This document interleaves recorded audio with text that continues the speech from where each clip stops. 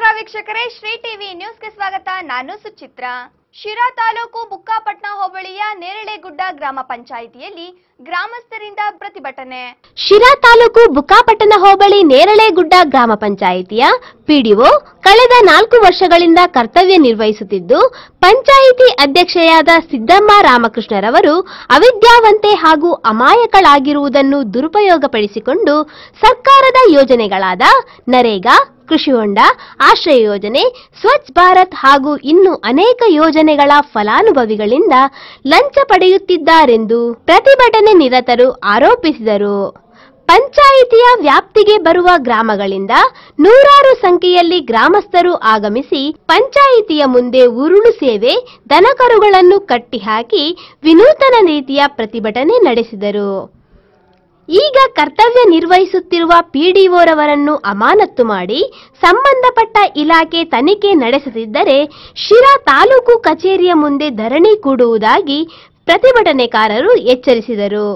ಈ ಪ್ರತಿಭಟನೆಯಲ್ಲಿ ಬಿಜೆಪಿ ಮುಖಂಡರಾದ ನೇರಳೆಗುಡ್ಡೆ ಶಿವಕುಮಾರ್, ಅಜ್ಜೇನಹಳ್ಳಿ ರಮೇಶ್, ಶ್ರೀರಂಗಪ್ಪ, ಸುಬ್ರಹ್ಮಣ್ಯ, ರಾಮಾನಾಯ್ಕ್, ಹನುಮನಾಯ್ಕ್ ವಸಂತ್ ನಾಯ್ಕ್ ಮುಂತಾದವರು ಭಾಗವಹಿಸಿದ್ದರು.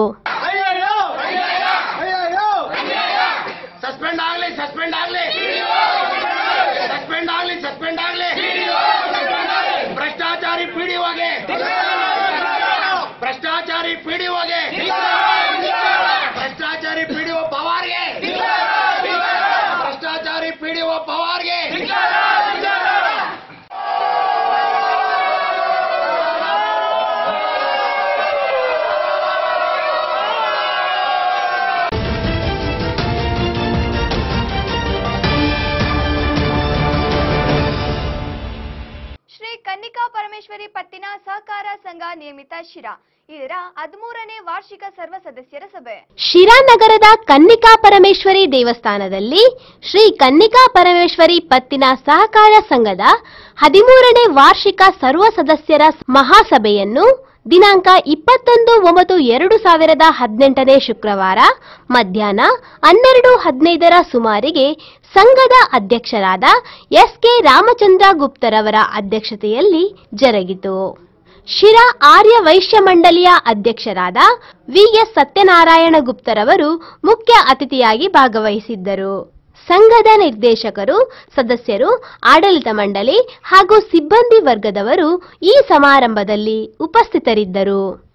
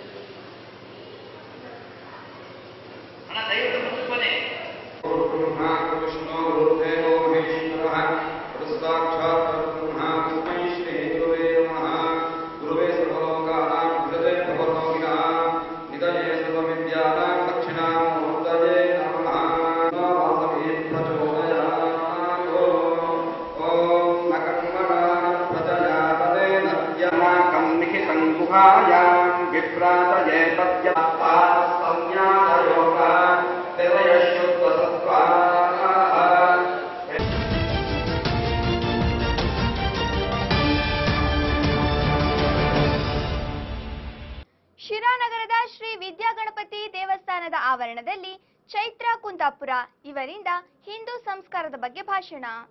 ದಿನಾಂಕ ಇಪ್ಪತ್ತು ಒಂಬತ್ತು ಎರಡು ಸಾವಿರದ ಹದಿನೆಂಟನೇ ಗುರುವಾರ ರಾತ್ರಿ ಎಂಟು ಗಂಟೆಗೆ ಶಿರಾ ವಿದ್ಯಾಗಣಪತಿ ದೇವಸ್ಥಾನದ ಆವರಣದಲ್ಲಿ ಚೈತ್ರ ಕುಂದಾಪುರ್ರವರು ಹಿಂದೂ ಸಂಸ್ಕಾರ ಹಾಗೂ ಗಣಪತಿ ವಿಸರ್ಜನಾ ವಿಧಿ ವಿಧಾನಗಳ ಬಗ್ಗೆ ವಿವರವಾಗಿ ತಮ್ಮ ಭಾಷಣದಲ್ಲಿ ಸಭಿಕರಿಗೆ ತಿಳಿಸಿದರು. ಮಕ್ಕಳು ತಂದೆ ತಾಯಂದಿರಿಗೆ ಗೌರವ ನೀಡಬೇಕು ಹಾಗೂ ಮನುಷ್ಯನಾದವನು ಸಮಾಜಮುಖಿಯಾಗಿ ಕಾರ್ಯನಿರ್ವಹಿಸಿದರೆ ಮಾತ್ರ ಸದೃಢ ಸಮಾಜ ನಿರ್ಮಾಣ ಸಾಧ್ಯ ಎಂದು ಈ ಸಂದರ್ಭದಲ್ಲಿ ತಿಳಿಸಿದರು. ಮಕ್ಕಳು ನಮ್ಮನ್ನು ಕಂಟ್ರೋಲ್ ಮಾಡ್ತವೆ ಕರಿಬೇಡಿ ಕಟ್ಟೋದು ಹೆಣ್ಮಕ್ಳಿಗೆ ಒಂದ್ ರೀತಿಯ ಬಂಧನ ಕ- ಕ- ಕೈ ಬಲ ಹಾಕೊಂಡು ಕೋಳ ಹಾಕದಂಗೆ ಕುಂಕುಮ ಇಡೋದು ಹೆಣ್ಮಕ್ಳ ಆ, ಏನು ಗುಗ್ಗುತನದ ಪರಮಾವಧಿ ಅಥವಾ ಕಾಲುಗಳಿಗೆ ಗೆಜ್ಜೆ ಹಾಕಿದ್ರೆ ಸರಪಳಿ ಕಟ್ಟಂಗೆ ಹೀಗೆ ನಮ್ಮ ಆಭರಣಗಳ ಬಗ್ಗೆ ನಮ್ಮ ಸಾಂಸ್ಕೃತಿಕ ಆ, ಒಡವೆಗಳ ಬಗ್ಗೆ ಒಂದಷ್ಟು ಆ, ಏನು ತೀಕ್ಷ್ಣವಾಗಿ ಮತ್ತು ವ್ಯತಿರಿಕ್ತವಾಗಿ ಮಾತನಾಡ್ತಕ್ಕಂಥ ಒಂದು ಟ್ರೆಂಡ್ ಆ ಟೈಮ್ನಲ್ಲಿ ಸೃಷ್ಟಿಯಾಗಿತ್ತು ಹೆಂಗಿತ್ತು ಅವತ್ತಿನ ಪರಿಸ್ಥಿತಿ ಸಿನಿಮಾಗಳು ಅಂತ ಕೇಳಿದ್ರೆ ಒಂದು ನೆನಪನ್ನ ನೋಡಿ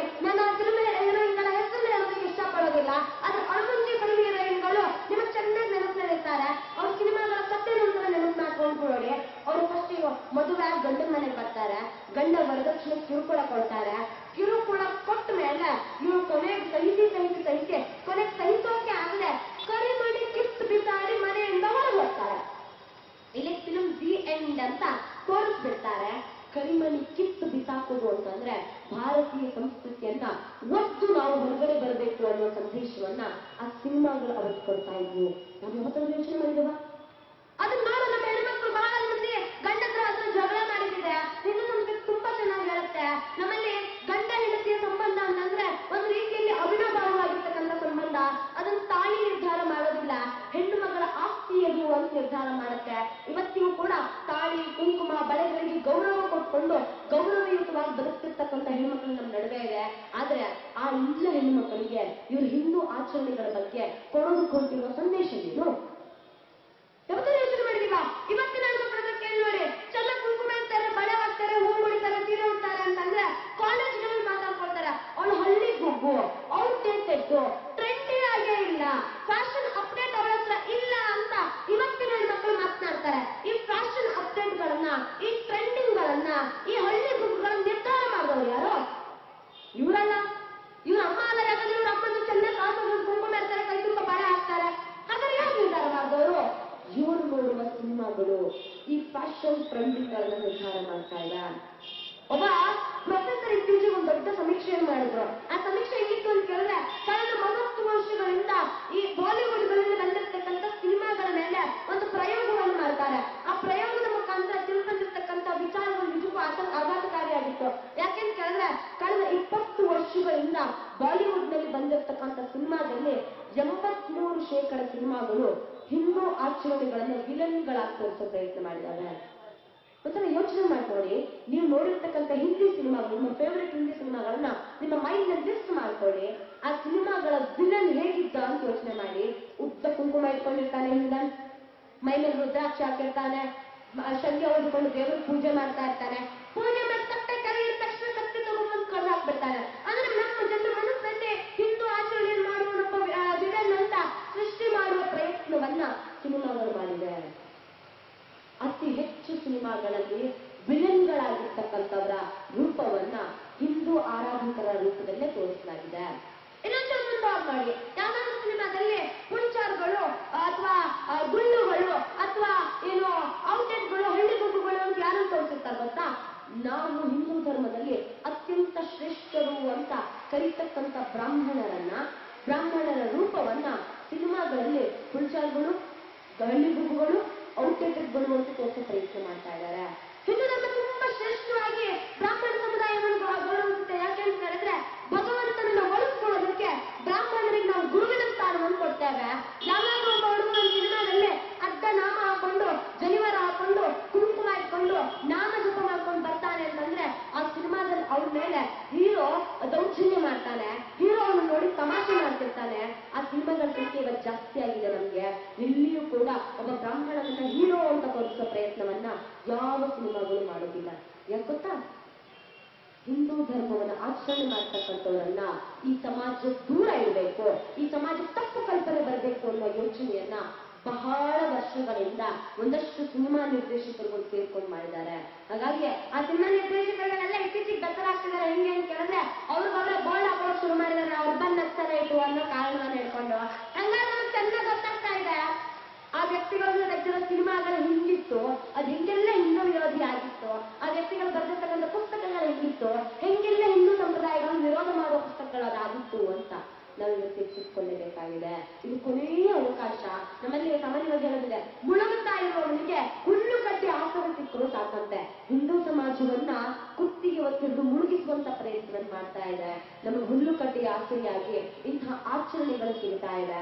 ಈ ಆಚರಣೆಗಳನ್ನು ಉಳಿಸಿಕೊಳ್ಳುವ ಪ್ರಯತ್ನವನ್ನು ನಾವು ಮಾಡಬೇಕಿದೆ ನಮಗೆ ಬೇರೆ ಯಾರು ಬರೋದಿಲ್ಲ ಅಲ್ಲಿನವ್ರಿಗೆ ಬರ್ತಾರೆ ಕೇಳಿದ್ರು ಬರೋದಿಲ್ಲ ವಿದೇಶಿಗರು ಬರ್ತಾರೆ ಕೇಳಿದ್ರು ಖಂಡಿತ ಬರೋದಿಲ್ಲ ಯಾಕಂದ್ರೆ ವಿದೇಶಗಳಿಂದ ದೊಡ್ಡ ದೊಡ್ಡ ಗಂಟುಗಳು ಗಂಟುಗಳು ಫಂಡ್ಗಳಾಗಿ ಇವತ್ತು ನಮ್ಮ ಸಮಾಜದಲ್ಲಿ ಇರ್ತಕ್ಕಂಥ ಒಂದಷ್ಟು ಎನ್ ಜಿ ಒಗಳು ಸೇರ್ತಾ ಇದೆ ಈಗ ಅವ್ರು ನಮ್ಮ ಮೇಲೆ ಹೇಗಾಕ ಏನು ಆಕ್ರಮಣ ಮಾಡ್ತಾರೆ ಅಂತ ಕೇಳಿದ್ರೆ ಸಮಾಜ ಸೇವೆಯ ಸೋಗನ್ನು ನಮ್ಮ ಮೇಲೆ ಆಕ್ರಮಣ ಮಾಡ್ತಾರೆ ನಮಗ್ ಗೊತ್ತೇ ಆಗೋದಿಲ್ಲ ಎಷ್ಟು ಚೆನ್ನಾಗಿ ಮತಾಂತರಗಳನ್ನು ಮಾಡೋ ಪ್ರಯ ಪ್ಲಾನ್ ಮಾಡ್ತಾರೆ ಕೇಳಿದ್ರೆ ಅವರು ನಮ್ಮನ್ನೆಲ್ಲ ಇತ್ತೀಚೆಗೆ ಕೇರಳ ಮತ್ತೆ ಕೊಡಗುಗಳಲ್ಲಿ ನೆರೆ ಹಾವಳಿ ಬಂತು ನೀವು ಒಂಚೂರು ವಿಚಾರಣೆ ಮಾಡಿ ನೋಡಿ ನೆರೆ ಹಾವಳಿಯಿಂದ ರಕ್ಷಣೆ ಮಾಡ್ತಕ್ಕಂಥ ಪ್ರಯತ್ನವನ್ನು ಮಾಡ್ತಿರ್ತಕ್ಕಂಥ ಒಂದಷ್ಟು ಧರ್ಮ ಕರ್ಕೊಂಡಿರ್ತಕ್ಕಂಥವ್ರು ಅವ್ರ ಕುತ್ತಿಗೆಗೆ ಒಂದು ಮಣಿ ತರ ಹಾಕಿ ಅವ್ರನ್ನ ಮತಾಂತರ ಮಾಡಿ ಈ ಕಡೆ ಕರ್ಕೊಳ್ತಿರ್ತಕ್ಕಂತಹ ವಿಡಿಯೋಗಳು ಬಹಳ ಮಂದಿ ವೈರಲ್ ಆಯ್ತು ಅದಕ್ಕಿಂತ ಹೆಚ್ಚಾಗಿ ನಾವು ವಿಚಾರಿಸೋದಾದ್ರೆ ಬಹುಶಃ ಕಳೆದ ವರ್ಷ ನೇಪಾಳದಲ್ಲಿ ದೊಡ್ಡ ಮಟ್ಟಿನ ಜಲಪ್ರಳಯ ಆಗಿತ್ತು. ನಮ್ಗೆಲ್ಲ ಗೊತ್ತು. ನೇಪಾಳದಲ್ಲಿ ದೊಡ್ಡ ಮಟ್ಟಿನ ಜಲಪ್ರಳಯ ಆಗಿತ್ತು. ನೇಪಾಳದಲ್ಲಿ ಬಹುಸಂಖ್ಯಾತರು, ಅತಿ ಹೆಚ್ಚು ಸಂಖ್ಯೆಯಲ್ಲಿರ್ತಕ್ಕಂಥ ಹಿಂದೂಗಳು. ಅವ್ರ ಹಿಂದೂಗಳ, ಆ ನೇಪಾಳದ ರಕ್ಷಣೆಗೆ ಎಲ್ಲ ದೇಶಗಳಿಂದ ರಕ್ಷಣಾ ವಸ್ತುಗಳು ಓದುವ ಆಹಾರ ವಸ್ತುಗಳು ಓದುವ ಪಕ್ಕದಲ್ಲಿರ್ತಕ್ಕಂಥ ನಮ್ಮ ಬಗಲಲ್ಲೇ ಇರ್ತಕ್ಕಂಥ ಬಗಲು ದುಶ್ಮನ್ ಬಗಲ್ ಮೇಲೆ ಅಂತಾರಲ್ಲ, ಆ ರೀತಿಯ ದುಶ್ಮನ್ ರಾಷ್ಟ್ರ ಪಕ್ಕದಲ್ಲಿ ಪಾಕಿಸ್ತಾನ ಇದೆ. ಆ ಪಾಕಿಸ್ತಾನ ಒಂದು ದೊಡ್ಡ ಆಹಾರವನ್ನ ನೇಪಾಳಕ್ಕೆ ಕಳಿಸ್ತು. ಆ ಆಹಾರ ಏನಾಗಿತ್ತು ಗೊತ್ತಾ? ಬೀಫ್ ಬಿರಿಯಾನಿಯನ್ನ ಪ್ಯಾಕೆಟ್ನಲ್ಲಿ ಸೇರಿಸ್ಕೊಂಡು ನೇಪಾಳಿಗರು ಕುಂಚುವಂತ ಪ್ರಯತ್ನವನ್ನ ಪಾಕಿಸ್ತಾನ ಮಾಡಿತು. ಯೋಚನೆ ಮಾಡಿ ನೋಡಿ. ಇವತ್ತು ನೆರೆ ಹಾವಳಿಯ ಸಂತ್ರಸ್ತವಾಗಿರುವಂತ ನೇಪಾಳದ ಮೇಲೆ ಪಾಕಿಸ್ತಾನ ಅಷ್ಟೊಂದು ದೊಡ್ಡ ಸಂಚನ್ ಮಾಡ್ಬೇಕಾದ್ರೆ, ಅವರು ಪ್ರತಿನಿತ್ಯ ಹಾಗೆ ಮಾಡ್ತಿರೋ ಭಾರತದ ಮೇಲೆ ಇನ್ನೆಷ್ಟು ದೊಡ್ಡ ಸಂಚಲನ ಮಾಡಿರ್ಬಹುದು ಬೇರೆ ಯಾವ ಸಂಚು ಅಲ್ಲ. ನಮ್ಮ ಆಚರಣೆಗಳಿಂದ ನಮ್ಮನ್ನು ದೂರ ಮಾಡ್ತಕ್ಕಂಥ ಸಂಚಲನ ಈ ವಿರೋಧಿ ರಾಷ್ಟ್ರಗಳು ಮಾಡ್ತಾವೆ. ನಮ್ಮ ಗೊತ್ತಾಗ್ತಾರೆ ನಾವು ನಮ್ಮ ನಡುವಲ್ಲಿರ್ತಕ್ಕಂಥವ್ರು ಹೆಂಗಿದ್ದಾರೆ ಅಂತ ಕೇಳಿದ್ರೆ ಹೌದಪ್ಪ ಅವ್ರ, ಯಾವ ಆಚರಣೆಗಳಿಗೂ ಬರೋದಿಲ್ಲ. ಅವ್ರು ಪಾಡುದವ್ರು ಇದ್ದಾರೆ. ಹಬ್ಬಬ್ಬ ಅಂತ ಒಂಚೂರು ವಿರೋಧ ಮಾಡ್ತಾರೆ ಅನ್ನೋ ನಾವು ಪರಿಕಲ್ಪನೆ ತಗೊಂಡಿರ್ತೇವೆ. ಅದಕ್ಕೆಲ್ಲವನ್ನ ಬದಿಗಿಟ್ಟು ನಮಗ್ ಗೊತ್ತಾ ಯಾವತ್ತಾದ್ರೂ ಅವರು ವಿಚಾರಗಳ ಬಗ್ಗೆ ಆದರೆ ಬೇರೆಯವರ ಏನು ಒಂದಷ್ಟು ಸಮಸ್ಯೆಗಳನ್ನು ವಿರೋಧ ಮಾಡಿರುವಂತದ್ದನ್ನ ನಾವು ಯಾವತ್ತಾದ್ರೂ ಯೋಚನೆ ಮಾಡ್ತೇವೆ ಕೇಳಿದ್ರೆ ಖಂಡಿತ ನಾವು ಯೋಚನೆ ಮಾಡಿಲ್ಲ. ಯಾಕೆಂದ್ರೆ ನಾವು ಅವ್ರ ಬಗ್ಗೆ ಯೋಚನೆ ಮಾಡೋದಿಲ್ಲ. ಹಿಂದೂ ಒಬ್ಬ ತನ್ನ ಸಮಾಜದ ಬಗ್ಗೆ ಯೋಚನೆ ಮಾಡುವ ವಿಚಾರಗಳನ್ನ ಯಾವಾಗ ಕಳ್ಕೊಳ್ತಾನೋ ತನ್ನ ಸಮಾಜದ ಬಗ್ಗೆ ಒಂಚೂರು ಚಿಂತೆ ಮಾಡದೆ ತಾನಾಯ್ತು ತನ್ನ ಕೆಲಸ ಆಯ್ತು ತನ್ನ ಪಾಡಾಯ್ತು ಅಂತ ಇರ್ತಾನೋ ಅವತ್ತು ಈ ಸಮಾಜದ ದಿಕ್ಕು ತಪ್ಪಿ ಹೋಗುತ್ತೆ. ಸಮಾಜವನ್ನ ದಿಕ್ಕು ತಪ್ಪದ ಹಾಗೆ ಕಾಪಾಡಬೇಕಾಗಿರ್ತಕ್ಕಂಥ ಜವಾಬ್ದಾರಿ ನಮ್ಮಲ್ಲಿದೆ ನಾವು ತುಂಬಾ ಅರ್ಥ ಅರ್ಥ ಚೆನ್ನಾಗಿ ಅರ್ಥ ಮಾಡ್ಕೊಳ್ಬೇಕಾಗಿದೆ. ಇದು ಬರೀ ನಮ್ಮ ಮೇಲೆ ಆಗಿರ್ತಕ್ಕಂಥ ಆಕ್ರಮಣ ಅಲ್ಲ. ನಮ್ಮ ಧರ್ಮದ ಮೇಲೆ ಆಗ್ತಿರ್ತಕ್ಕಂಥ ಆಕ್ರಮಣ ಅಲ್ಲ. ನಮ್ಮ ಸಂಸ್ಕೃತಿಯ ಮೇಲೆ ಆಗ್ತಿರ್ತಕ್ಕಂಥ ಆಕ್ರಮಣ ಅಲ್ಲ. ಬದಲಿಗೆ ನಮ್ಮ ಮುಂದಿನ ಪೀಳಿಗೆಯ ಮೇಲೆ ಆಗ್ತಿರ್ತಕ್ಕಂಥ ಆಕ್ರಮಣ ಇದು ಅನ್ನೋದನ್ನ ನಾವು ಅರ್ಥ ಮಾಡ್ಕೊಳ್ಬೇಕು. ನಮ್ಗದ ಅರ್ಥ ಆಗೋದಿಲ್ಲ. ಎಲ್ಲಿಯವರೆಗೆ ನಾವು ನಮ್ಮ ಮಕ್ಕಳನ್ನ ಬರೀ ಕಾನ್ವೆಂಟ್ಗಳ ಶಿಕ್ಷಣದಷ್ಟೇ ಸೀಮಿತ ಮಾಡಿಬಿಟ್ಟಿರ್ತೇವೋ ಎಲ್ಲಿಯವರೆಗೆ ನಮ್ಮ ಮಕ್ಕಳಿಗೆ ನಾವು ninety nine point ninety nine marks ತೆಗಿ ಅಂತ ಮಾತ್ರ ಹೇಳ್ಕೊಡ್ತೇವೋ? ಅಲ್ಲಿಯವರೆಗೂ ಕೂಡ ನಮ್ಮ ಮಕ್ಕಳು ನಮ್ಮ ಆಚರಣೆಗಳ ಮೌಲ್ಯ ಅರ್ಥ ಆಗೋದಿಲ್ಲ. ಕಾಲೇಜಿಗೆ ಕಳಿಸ್ಬೇಡಿ ಅಂತ ಹೇಳೋದಿಲ್ಲ ನೈಂಟಿ ಪರ್ಸೆಂಟ್ ಮಾರ್ಕ್ಸ್ ತೆಗಿ ತಪ್ಪು ಅಂತ ನಮ್ಮ ಮಕ್ಕಳಿಗೆ ಹೇಳ್ತಾ ಇಲ್ಲ. ಆದ್ರೆ ninety nine point nine percent marks ತೆಗಿಯೋ ಹಂಬಲದಲ್ಲಿ ಮಗು ತನ್ನ ತಾಯಿ ಸಂಕಷ್ಟವನ್ನು ಅರ್ಥ ಮಾಡ್ಕೊಳ್ತಾ ಹೋದ್ರೆ ಮಗು ತನ್ನ ತಂದೆ, ತಾಯಿ, ಅಣ್ಣ, ತಮ್ಮಂದ್ರ ಸಂಬಂಧದ ಮೌಲ್ಯ ಅರ್ಥ ಆಗದೆ ಹೋದ್ರೆ, ಮುಂದೆ ಯಾವತ್ತೂ ನಮ್ಮ ಕುಟುಂಬಗಳು ನಮ್ಮ ಸಂಸ್ಕೃತಿಗಳು ಉಳಿಯೋದಕ್ಕೆ ಸಾಧ್ಯ ಆಗೋದಿಲ್ಲ ಅದನ್ನ ಉಳಿಸ್ಕೊಳ್ಬೇಕಾಗಿದೆ ನಮ್ಮಲ್ಲಿ ತುಂಬಾ ಜನ ನಾವು ಯೋಚನೆ ಮಾಡ್ತೇವೆ ಈ ಹಬ್ಬಗಳ ಆಚರಣೆ ಮೌಲ್ಯ ಏನು ಯಾಕಾಗಿ ಅಂತ ತುಂಬಾ ಜನ ವಿಚಾರ ವ್ಯಾಧಿಗಳು ಕರೆಯೋದಿದೆ ನಮ್ಮನ್ನ ಎಲ್ಲಿರೋ ನಿಮ್ ದೇವರುಗಳು ನಿಮ್ ದೇವರುಗಳು ಯಾರು ಇಲ್ಲ ಇದ್ರೆ ಕರ್ಕೊಂಡು ಬನ್ನಿ ನೋಡೋಣ ನಿಮ್ ದೇವರುಗಳು ಯಾಕೆ ಪ್ರವಾಹ ಆಗುವಾಗ ನಿಮ್ ದೇವರ ದೇವಸ್ಥಾನ ಕಾಪಾಡ್ಕೊಳ್ಳಲ್ಲ ನಿಜವಾಗ್ಲೂ ದೇವರಿದ್ದಾರೆ ಅಂತ ನೀವು ಹೆಂಗ್ ಪ್ರೂವ್ ಮಾಡ್ತೀರಿ ದೇವ್ ಇದಾನ ಎಲ್ಲಿದ್ದಾನೆ ಕರೀರಿ ನೋಡೋಣ ಅಂತ ಒಂದಷ್ಟು ಅಸಂಬದ್ಧವಾಗಿರ್ತಕ್ಕಂಥ ಪ್ರಶ್ನೆಯನ್ನ ಒಂದಷ್ಟು ವಿಚಾರ ವ್ಯಾಧಿಗಳು ಅಂತ ಕರೆಸ್ಕೊಳ್ತಿರ್ತಕ್ಕಂಥವ್ರು ನಮ್ಮನ್ನು ಕೇಳೋದಿದೆ ನಾವು ಅವ್ರಿಗೆ ಹೇಳ್ಬೇಕಾಗಿದೆ ಸರಿ ನೀವು ದೇವರು ನಂಬೋದಿಲ್ಲ ನಂಬೇಡಿ ಹೇಳಿ ನಾವು ದೇವರು ನಂಬ್ತೇವೆ ಆದ್ರೆ ದೇವರುಗಳು ಅಂತ ನಾವು ಕರೀತಕ್ಕಂಥವ್ರು ಕೊಟ್ಟಿರುವ ಸಂದೇಶ ಯಾವತ್ತಾದ್ರೂ ತಪ್ಪಾಗಿದೆಯಾ? ಯೋಚನೆ ಮಾಡಿ ನೋಡಿ ನಾವು ಗಣೇಶನಿಗೆ ಯಾಕೆ ಮೊದಲನೇ ಪೂಜೆ ಮಾಡ್ತೇವೆ? ವಿಘ್ನ ವಿನಾಯಕ ಗಣೇಶ ಅಂತ ಕರಿತೇವೆ. ವಿಘ್ನಗಳನ್ನೆಲ್ಲ ನಿವಾರಣೆ ಮಾಡುವವನು ಗಣೇಶ. ಹೆಂಗ್ ನಿವಾರಣೆ ಮಾಡ್ತಾರೆ ಅಂತ ಕೇಳಿದ್ರೆ, ನೀವು ಯಾವುದೇ ದೊಡ್ಡ ಹೋಮ ಮಾಡಿ, ಯಾವುದೇ ದೇವರ ಕೆಲಸ ಮಾಡಿ, ಯಾವುದೇ ವಿಚಾರಗಳನ್ನು ಮಾಡ್ಕೊಂಡು ಶುರು ಮಾಡಿ. ಮೊದಲನೇದಾಗಿ ನಾವು ಗಣಪತಿಯನ್ನು ಪೂಜೆ ಮಾಡ್ತೇವೆ. ಯಾವ ವಿಘ್ನಗಳು ಬರಲಿ ಅಂತ. ಹೆಂಗಂದ್ರೆ ಮೊದಲನೇ ಸಿಕ್ತು ಅಂತ ಕೇಳಿದ್ರೆ ನಾವು ಪುರಾಣದಲ್ಲ ನಮ್ಮ ಅಜ್ಜ ಎಲ್ಲ ಕಥೆ ಹೇಳೋರು. ಹೆಂಗೆ ಅಂತ ಕೇಳಿದ್ರೆ, ಮೂರು ಲೋಕಗಳನ್ನು ಯಾರು ಮೊದಲು ಸುತ್ತ ಬರ್ತಾರೋ, ಅವ್ರಿಗೆ ಮೊದಲನೇ ಪೂಜೆ ಅಂತ ಕಾಂಪಿಟೇಷನ್ ಇದ್ದಾಗತ್ತಂತ ದೇವತೆಗಳಿಗೆ. ಆಗ ಎಲ್ಲ ದೇವತೆಗಳು ಕಾಂಪಿಟೇಷನ್ಗೆ ಹೋದಾಗ, ಗಣೇಶ ಮಾತ್ರ ನನಗೆ ನನ್ನ ತಂದೆ ತಾಯಿಯೇ ಮೂರು ಲೋಕ. ತಂದೆ ತಾಯಿಗಿಂತ ಮಿಗಿಲಾಗಿರ್ತಕ್ಕಂಥ ಲೋಕಗಳು ಬೇರೆ ಇಲ್ಲ ಅಂತ ತಂದೆ ತಾಯಿಗೂ ಮೂರು ಸುತ್ತನ್ನ ಹಾಕೋದ್ರ ಮುಖಾಂತರ ಮೊದಲ ಪೂಜೆಯ ಬಹುಮಾನವನ್ನು ತಿಳ್ತಾನಂತೆ. ಅದು ಗಣಪತಿ ಲೆಕ್ಕ ಮಾತ್ರ. ಮನುಷ್ಯನಿಗೆ ಏನು ಸಂದೇಶ ಕೊಡ್ತಾನೆ ನಾನು ಮಕ್ಕಳಿಗೆ ಹೇಳ್ಬೇಕಾಗಿದೆ ಪ್ರತಿ ಸಲ ಗಣೇಶೋತ್ಸವ ಬಂದಾಗ ನಾವು ಅರ್ಥ ಮಾಡಿಸ್ಬೇಕಾಗಿದೆ ನೋಡ್ಬೋದು ಯಾವ ವ್ಯಕ್ತಿ ತಂದೆ ತಾಯಿಗೆ ತನ್ನ ಲೋಕ ಅಂತ ಭಾವಿಸ್ತಾನೋ, ಯಾವ ವ್ಯಕ್ತಿ ತಂದೆ ತಾಯಿ ತನ್ನ ಪ್ರಪಂಚ ಅಂತ ಭಾವಿಸ್ತಾನೋ, ಆ ವ್ಯಕ್ತಿಗೆ ಇಡೀ ಸಮಾಜ ಮೊದಲನೇ ಪೂಜೆ ಕೊಡುತ್ತೆ. ಆ ವ್ಯಕ್ತಿಗೆ ಇಡೀ ದೇಶ ಮೊದಲನೇ ಪ್ರಾಶಸ್ತ್ಯವನ್ನು ಕೊಡುತ್ತೆ. ಆ ಸಂದೇಶವನ್ನು ನಾವು ಗಣಪತಿ ಕಲಿತೇವೆ ಸತ್ಯ ಆಚರಣೆಗಳು ಮಾಡೋದ್ರಿಂದ ನಮ್ಮ ಮಕ್ಕಳು ಮುಂದೆ ಕಲಿತೆ ನಮ್ಮ ಪ್ರತಿ ಆಚರಣೆ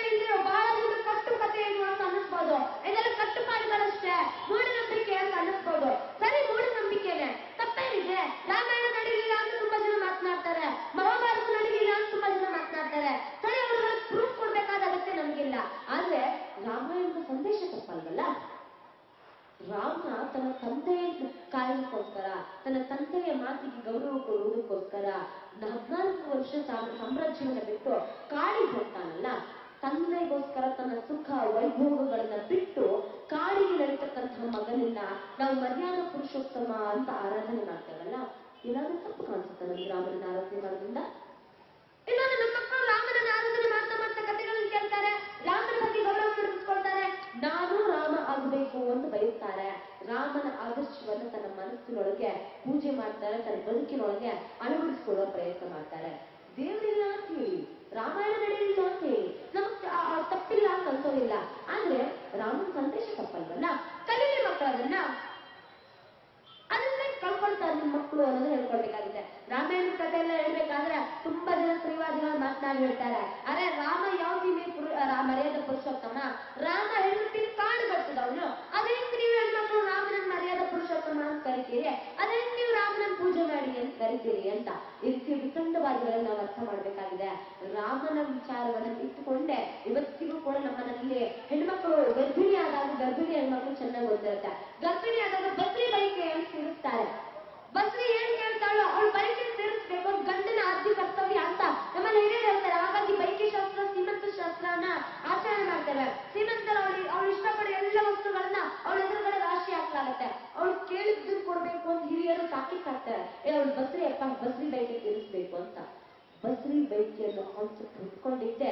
ಸೀತೆ ತಾನು ಕಾಡಿಗೆ ಹೋಗಿ ಋಷಿಮುನಿಗಳ ಸೇವೆ ಮಾಡಬೇಕು ಅಂತ ಗಂಡನ ಕೇಳ್ಕೊಂಡಾಗ ಗಂಡ ಗೌರವಯುತವಾಗಿ ಕಾಡಿಗೆ ಕಳಿಸಿಕೊಳ್ತಾನಲ್ಲ ಆ ರಾಮ ಸೀತೆಯ ನಡುವಿನ ಸಂಬಂಧದಿಂದ ಬಸ್ರಿ ಬೈಕೆ ಅನ್ನೋ ಕಾನ್ಸೆಪ್ಟ್ ಹುಟ್ಕೊಳ್ತು ಇವತ್ತಿಗೂ ನಮ್ಮ ಹೆಣ್ಮಕ್ಳು ಆ ಕಾನ್ಸೆಪ್ಟ್ ಗಳನ್ನ ನಂಬಿಕೊಂಡೆ ಶ್ರೀರಾಮನಂತ ಗಂಡು ಕೊಡಪ್ಪ ಅಂತ ಪ್ರತಿನಿತ್ಯ ಪೂಜೆ ಮಾಡ್ತಾರೆ ಹೊರತು ಯಾರು ಕೂಡ ಎಂಟೆರಡು ಮೂರು ನಾಲ್ಕು ಐದು ಅಂತ ಕರ್ಕೊಂಡ್ರೆ ಫಿಲ್ಮ್ ಅಂತ ಗಂಡನ್ ಕೊಡು ಅಂತ ಕೇಳೋದಿಲ್ಲ ನಮ್ಮ ಆಚರಣೆಗಳಿಗೆ ಏನ್ ತಪ್ಪಿದೆ ಏನ್ ತಪ್ಪಿದೆ ಇತ್ತೀಚೆಗೆ ಆ, ಹಿಂದೂಗಳ ವಿರೋಧಿ ಆಗಿರ್ತಕ್ಕಂಥ ಒಂದು ಮನಸ್ಥಿತಿ ಅಂತಾರಾಷ್ಟ್ರೀಯ ಮಟ್ಟದಲ್ಲಿ ಉಳ್ಕೊಂಡ್ಬಿಟ್ಟಿದೆ ಹಾಗಾಗಿ ನಮ್ಗೆಲ್ಲ ಗೊತ್ತು ಇಸ್ಕಾನ್ ಒಂದು ಆಧ್ಯಾತ್ಮಿಕ ಸಂಸ್ಥೆ ಇಸ್ಕಾನ್ ತನ್ನ ವಿದೇಶದಲ್ಲಿ ತನ್ನ ಒಂದು ಕೇಂದ್ರ ಸ್ಥಾಪನೆ ಮಾಡಬೇಕು ಅನ್ನೋ ಕಾರಣಕ್ಕೋಸ್ಕರ ವಿದೇಶದಲ್ಲಿ ತನ್ನ ಆಫೀಸ್ ಓಪನ್ ಮಾಡಬೇಕು ತನ್ನ ಆ, ಏನು ಹಿಂದೂ ಆ, ಬಾಂಧವರಿಗೆ ರಾ- ಕೃಷ್ಣ ಸಂದೇಶವನ್ನು ತಲುಪಿಸಬೇಕು ಅನ್ನೋ ಪ್ರಯತ್ನವನ್ನು ಮಾಡುತ್ತಂತೆ ಹಾಗಾಗಿ ವಿದೇಶಕ್ಕೆ ಹೋಗಿ ಅಲ್ಲಿ ಆಫೀಸ್ ಓಪನ್ ಮಾಡುವಂತ ಪ್ರಯತ್ನ ಮಾಡುತ್ತೆ ಅಲ್ಲೊಂದು ಆಧ್ಯಾತ್ಮ ಕೇಂದ್ರವನ್ನು ಓಪನ್ ಮಾಡೋ ಪ್ರಯತ್ನ ಮಾಡುತ್ತೆ ಆಗ ಅಲ್ಲಿದ್ದಂತ ವಿದೇಶದ ಕ್ರಿಶ್ಚಿಯನ್ ಮಿಷನರಿಗಳು ಅದಕ್ಕೆ ಅಡಗಲ್ ಆಗ್ತಾರಂತೆ ಅವ್ರು ಕೋರ್ಟ್ ಮೆಟ್ಟಲು ಏರ್ತಾರಂತೆ ಕೋರ್ಟ್ ಮೆಟ್ಟಲು ಏರಿರ್ತಕ್ಕಂತಹ ಮಿಷನರಿಗಳು ಕೊಟ್ಟು ಕೊಟ್ಟ ಕಾರಣ ಏನ್ ಗೊತ್ತೇನು ನಮ್ಮ ದೇಶದಲ್ಲಿ ಕೃಷ್ಣನ ಆಧ್ಯಾತ್ಮ ಕೇಂದ್ರವನ್ನು ಸ್ಥಾಪನೆ ಮಾಡಬಾರ್ದು ಯಾಕೆ ಅಂತ ಕೇಳಿದ್ರೆ ಕೃಷ್ಣನ ಹದಿನಾರು ಸಾವಿರ ಜನ ಹೆಣ್ಣುತ್ತೀರಿದ್ದಾರೆ ಹಾಗಾಗಿ ಸ್ತ್ರೀ ವಿರೋಧ ಆಗುತ್ತೆ ಹಾಗಾಗಿ ಸಮಾಜಕ್ಕೆ ತಪ್ಪು ಸಂದೇಶ ಕೊಡುತ್ತೆ ಅದಕ್ಕೋಸ್ಕರ ಇಸ್ಕಾನ್ನ ಯಾವುದೇ ಪ್ರಾರ್ಥನಾ ಮಂದಿರಗಳು ಇಲ್ಲಿ ಓಪನ್ ಆಗಬಾರ್ದು ಅಂತ ಅವ್ರು ಕೋರ್ಟ್ನಲ್ಲಿ ಕೇಸ್ ಹಾಕ್ತಾರೆ ಅವರಲ್ಲಿ ಸನ್ಯಾಸಿನಿಯರು ಅಂತಿದ್ದಾರೆ. ಸನ್ಯಾಸಿನಿಯರು ಮೇಲೆ ಬರ್ತಾರೆ. ಹೇಳ್ತಾರೆ, ನೀವು ಸನ್ಯಾಸ ದೀಕ್ಷೆ ತೆಗೆದುಕೊಳ್ಳುವಾಗ ಒಂದು ಪ್ರಮಾಣವನ್ನು ಮಾಡ್ತೀರಲ್ಲ, ಏನದು ಪ್ರಮಾಣ ಅಂತ ಪ್ರಶ್ನೆ ಮಾಡ್ತಾರಂತೆ. ಆಗ ಅವ್ರು ಹೇಳ್ತಾರಂತೆ, ನಾವು ಸನ್ಯಾಸ ದೀಕ್ಷೆಯನ್ನು ತೆಗೆದುಕೊಂಡ ಮೇಲೆ ನಮ್ಮ ಇಡೀ ಬದುಕು ಕೂಡ ಜೀಸಸ್ಗೆ ಅರ್ಪಿತ. ನಮ್ಮ ಗಂಡ, ನಮ್ಮ ಎಲ್ಲಾ ರೀತಿಯ ಸಂಬಂಧಗಳು ಕೂಡ ಜೀಸಸ್. ನಾವು ನಮ್ಮ ಜೀಸಸ್ ಅನ್ನ ಗಂಡ ಅಂತ ಒಪ್ಕೊಳ್ತೇವೆ ಅಂತ. ಇಸ್ಕಾನ್ ಪ್ರಶ್ನೆ ಮಾಡುತ್ತಂತೆ ತಪ್ಪುಗಳನ್ನ ಎತ್ತಿ ಹಿಡಿಯೋ ಪ್ರಯತ್ನ ಮಾಡುವ ನೀವುಗಳು ಬೆತ್ತಲಾಗ್ತಾ ಇದ್ದೀರಿ ಅನ್ನೋದನ್ನ ಯಾರು ಅರ್ಥ ಮಾಡ್ಕೊಳ್ತಿದ್ದ ಈ ರೀತಿ ಪ್ರಶ್ನೆ ಮಾಡೋದನ್ನ ಕಲಿಬೇಕಾಗಿದೆ. ನಮ್ಮ ಮಕ್ಕಳಿಗೆ ಹೇಳ್ಕೊಡ್ಬೇಕಾಗಿದೆ. ಇವತ್ತಿನ ಎಷ್ಟೋ ಮಂದಿ ಮಿಷನರಿಗಳು ನಡೆಸಿರ್ತಕ್ಕಂಥ ಸ್ಕೂಲ್, ಕಾಲೇಜುಗಳಲ್ಲಿ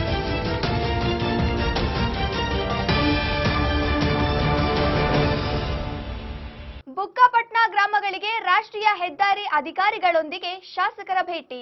ದಿನಾಂಕ ಇಪ್ಪತ್ತು ಒಂಬತ್ತು ಎರಡು ಸಾವಿರದ ಹದಿನೆಂಟರಂದು ರಾಷ್ಟ್ರೀಯ ಹೆದ್ದಾರಿ ಅಧಿಕಾರಿಗಳು ಚಿಕ್ಕನಾಯಕನಹಳ್ಳಿ ಕ್ಷೇತ್ರದ ಶಾಸಕರಾದ ಜೆಸಿ ಮಾಧುಸ್ವಾಮಿಯವರೊಂದಿಗೆ ಬುಕ್ಕಾಪಟ್ಟಣ ಗ್ರಾಮಗಳಿಗೆ ಭೇಟಿ ನೀಡಿದರು. ಈ ಸಮಯದಲ್ಲಿ ಸಾರ್ವಜನಿಕರಿಂದ ದೂರುಗಳ ಸುರಿಮಳೆಯಾಯಿತು. ರಸ್ತೆ ವಿಸ್ತರಣೆ ಬಗ್ಗೆ ನಿಖರ ಮಾಹಿತಿಯನ್ನು ಅಧಿಕಾರಿಗಳೇ ಆಗಲಿ, ಸಂಬಂಧಪಟ್ಟ ಗುತ್ತಿಗೆ ಸಂಸ್ಥೆಗಳೇ ಆಗಲಿ ನೀಡದೇ ಇರುವುದು, ಒಂದೊಂದು ಊರಿನಲ್ಲಿ ಒಂದೊಂದು ಅಳತೆ ನಿಗದಿ ಮಾಡಲಾಗಿರುವ ಬಗ್ಗೆ ಭೂ ಸ್ವಾಧೀನ ಪ್ರಕ್ರಿಯೆಯನ್ನೇ ಮಾಡದೆ ರೈತರ ಜಮೀನುಗಳಲ್ಲಿ ಕೆಲಸ ಮಾಡುತ್ತಿರುವ ಬಗ್ಗೆ ಹಾಗೂ ಹತ್ತಾರು ಬಾರಿ ಅಳತೆ ಮಾಡಿದ್ದರೂ ಗ್ರಾಮಗಳ ಸರಹದ್ದಿನಲ್ಲಿ ಅಳತೆ ಕಾರ್ಯ ಮುಗಿಸದೇ ಇರುವುದರ ಬಗ್ಗೆ ದೂರುಗಳ ಮಹಾಪೂರವೇ ಹರಿದು ಬಂತು. ಬುಕ್ಕಾಪಟ್ಟಣದಲ್ಲಿ ಭೂಸ್ವಾಧೀನ ಮಾಡಿರುವ ಪ್ರದೇಶ ಬಿಟ್ಟು ಬೇರೆಡೆ ಕಾಮಗಾರಿ ಮಾಡಿರುವುದನ್ನು ಶಾಸಕರು ಖಂಡಿಸಿದರು. ಈ ಬಗ್ಗೆ ಸಂಬಂಧಪಟ್ಟ ಅಧಿಕಾರಿ ಹಾಗೂ ಗುತ್ತಿಗೆದಾರರನ್ನು ತರಾಟೆಗೆ ತೆಗೆದುಕೊಂಡರು. ಕಾಮಗಾರಿ ವೇಳೆ ಮನೆ ಕಳೆದುಕೊಂಡವರಿಗೆ ಪರಿಹಾರ ನೀಡದೆ ಕಾಮಗಾರಿ ಮಾಡಕೂಡದೆಂದು ನುಡಿದರು.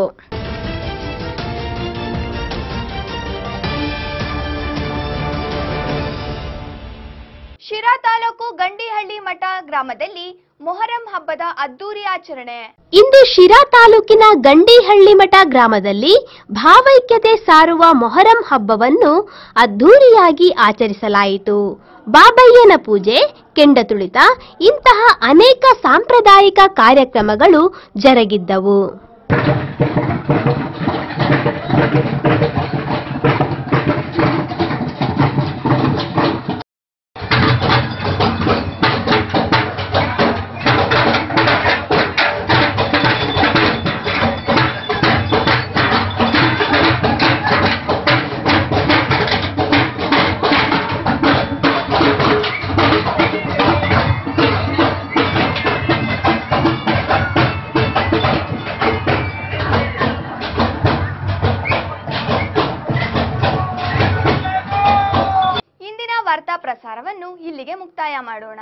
ನಿರಂತರ ಸುದ್ದಿಗಾಗಿ ನೋಡ್ತಾ ಇರಿ ಶ್ರೀ ಟಿವಿ. ಇದು ಜನಪರ ಧ್ವನಿ.